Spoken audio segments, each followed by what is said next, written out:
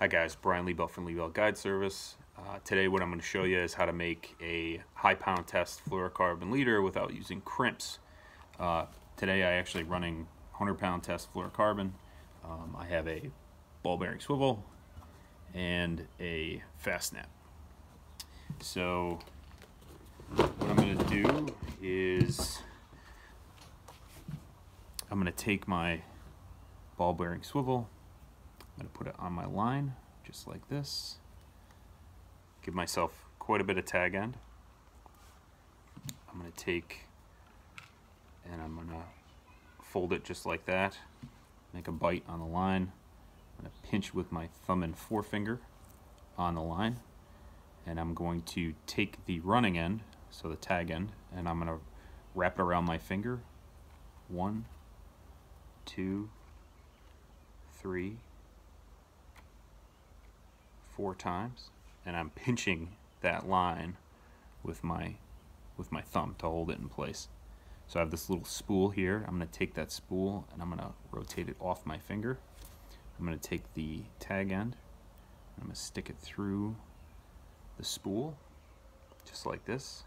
And then I'm going to take these little wraps and I'm going to pull them off of the spool. Uh, sometimes you got to play with this a little bit to, to get it to look right. And in this case I do. So what you're going to end up getting is you're going to get something that looks like this. This is what's going to make your knot. So I'm going to wet it. And then I'm going to pull it all together.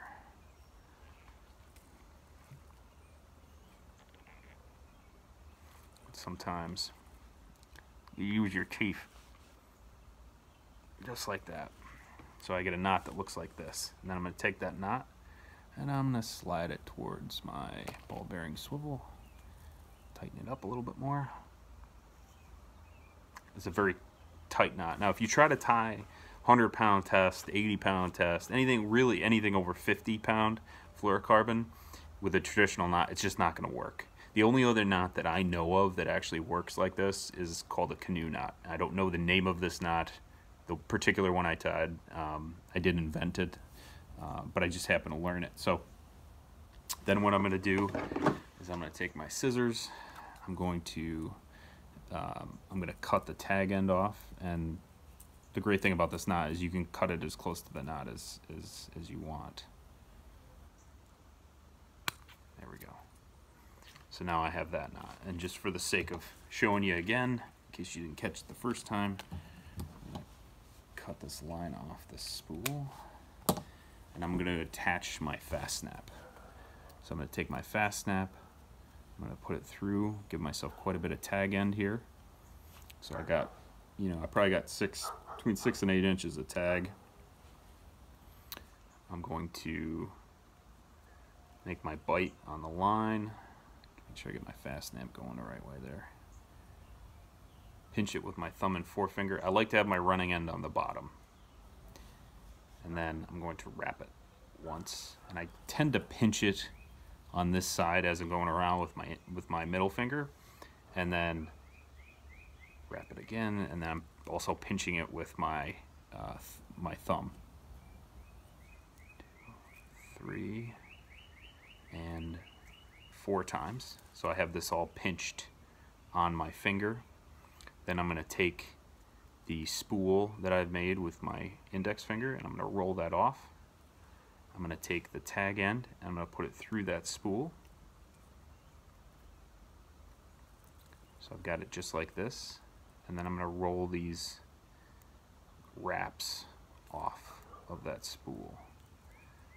And then the way you want it kind of set up is sometimes you got to play with it a little bit.